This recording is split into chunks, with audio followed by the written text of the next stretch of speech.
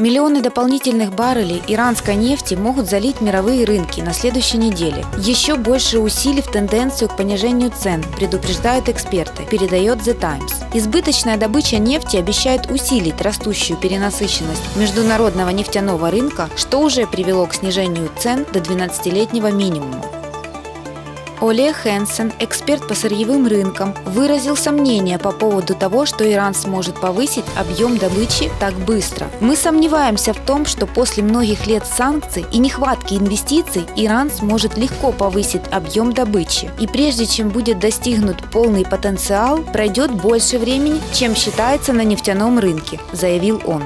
Банк Standard Chartered прогнозирует, что цены на нефть могут упасть даже до 10 долларов за баррель до того, как начнется их восстановление, пишет издание. По словам американских чиновников оборонного ведомства, армия Китая, возможно, направит войска, которые присоединятся к глобальному конфликту с террористами из исламского государства, сообщает The Washington Times в статье, подготовленной журналистами издания. По некоторым сведениям, Пекин обеспокоен тем, что растет число террористов китайского происхождения, вступивших в ИГИЛ, поясняет газета статье говорится, вместо того, чтобы вступить в сотрудничество с коалицией под руководством США, китайская армия, что более вероятно, соединит силы с российской. В последние месяцы Россия наносила авиаудары по объектам ИГИЛ, но также и по другим повстанцам в Сирии, которые выступают против режима президента Асада, пишет газета. В июле боевики ИГИЛ в видеоролике призвали китайских уйгуров взяться за оружие и вступить в исламское государство на территорию, которую группировка контролирует в Сирии и Ираке атаки.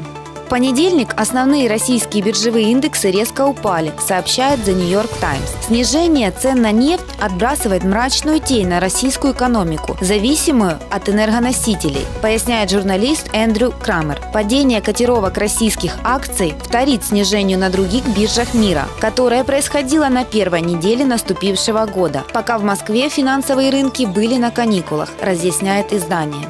Нефть, природный газ, сталь и другое сырье – основная часть российского экспорта. Резко снизилась из-за страхов перед замедлением китайской экономики, пишет автор. В интервью «Балт» президент Путин признал, что падение цен на нефть вредит экономике, но счел, что оно заставит Россию усовершенствовать ее финансовую политику, пишет автор. Российское государство облагает нефтяные компании налогами по более высокой ставке, когда цены на нефть выше, и по низкой ставке, когда цены снижаются снижаются. В результате главная нагрузка, вызванная снижением цен на нефть, легла на федеральный бюджет, а не на компании, говорится в статье.